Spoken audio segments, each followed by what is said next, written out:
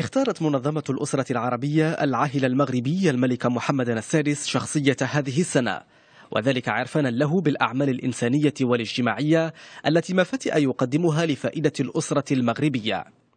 تسعى جائزة الأسرة العربية إلى إيجاد مساحة للتنافس بين الشخصيات القيادية والرائدة في العالم العربي التي تمكنت انطلاقا من موقعها من خدمة الترابط الأسري.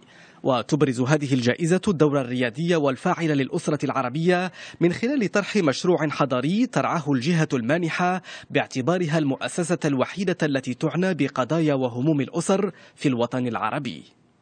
هذه الجائزة عربون محبة منا كمنظمة الأسرة العربية وجامعة الدول العربية وتقدير منا لمسيرته الحافلة بالعطاء وما قدمه للأسرة المغربية. كل عناصر الأسرة العربية تقول أن صاحب الجلالة قد قام بدور مقدر على مستوى المملكة المغربية وعلى مستوى العالم العربي وعلى المستوى الدولي.